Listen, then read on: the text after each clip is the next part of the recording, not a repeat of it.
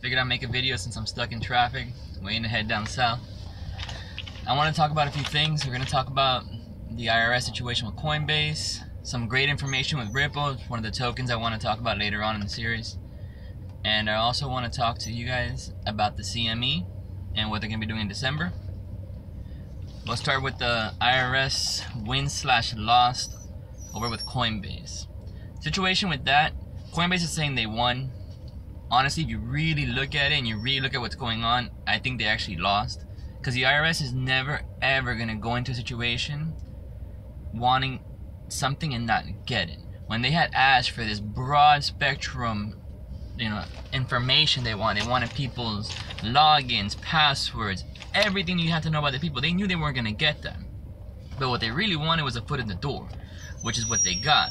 So anybody who was with Coinbase, if I remember correctly, between 2013 and 2015 did anything over $20,000 worth of trades, receiving, you know, putting putting out of Coinbase, getting in cash.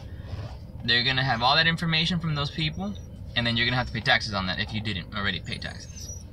What this does is opens up an opportunity to get more information because it'll start at 20 grand, and then it's gonna say 10, and then five, and then four, and then three, two, and then it's gonna be all the way to 20 bucks, and you're gonna have to pay capital gains.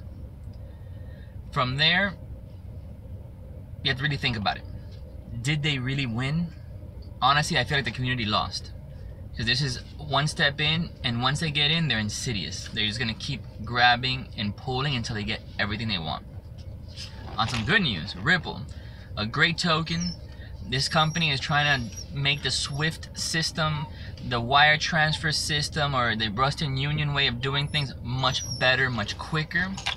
Hedge funds are going to start investing in them. There's um, a hedge fund now. I can't remember the name of the gentleman who's who's in charge of it, but they're planning to invest in Ripple. And I think that's going to be great. Ripple also got a contract with American Express and one of the biggest banks in England. We're moving. Awesome. And I think that's going to be great for the Ripple company because I mean they're already doing a couple. I think it's two billion dollars in transactions, and that's a pen. That's like a drop in the bucket compared to what they can and can actually do worldwide. So that's a great token to look at. This is not investment advice, it's just, you know, some good information so you can take it so you can take a look at that. The next thing is the CME. The CME is saying officially that December, January, they're planning to open up the futures market for B, for BTC, which I think will drive the price of BTC up for a little while, and then after a little while of it being in motion, it'll probably bring the prices down. But in the end, I think the, B, the BTC, the BTCE futures market is going to fail.